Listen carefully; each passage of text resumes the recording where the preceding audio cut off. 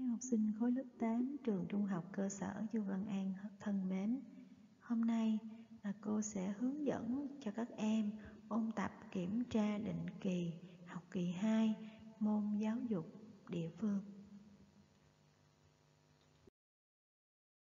Ở bài kiểm tra này thì các em sẽ có cái nội dung ôn tập như sau. À, chúng ta sẽ ôn tập chủ đề số 6 đó là lao động việc làm và chất lượng cuộc sống ở dân cư thành phố Hồ Chí Minh.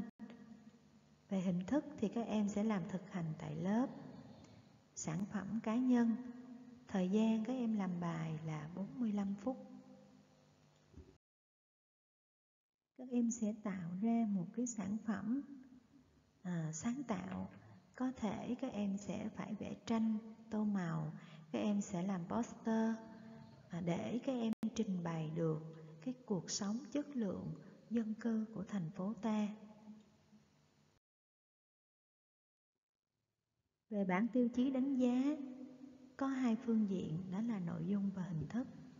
Về nội dung thì các em sẽ phải có những cái hành động thiết thực, khả thi, phù hợp với điều kiện thực tế và khả năng của lứa tuổi các em. Các em sẽ trình bày cái nội dung bài thi của mình rõ ràng, có ý nghĩa, góp phần giải quyết cái vấn đề về việc làm và lao động của thành phố Hồ Chí Minh. Về hình thức thì các em sẽ làm một sản phẩm mang tính thẩm mỹ, đó là các em phải sử dụng màu sắc sao cho tươi sáng, bố cục hài hòa, hình ảnh sinh động và sắc nét.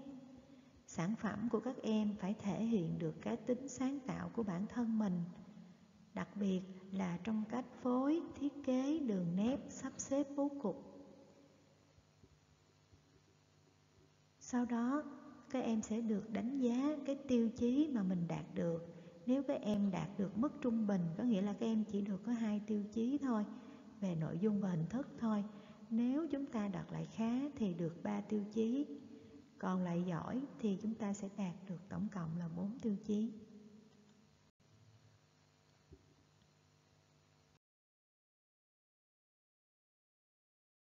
Tất cả các em học sinh lớp 8 trường trung học cơ sở Chu Văn An của chúng ta, ai cũng làm bài được điểm cao, ai cũng làm bài được điểm tốt.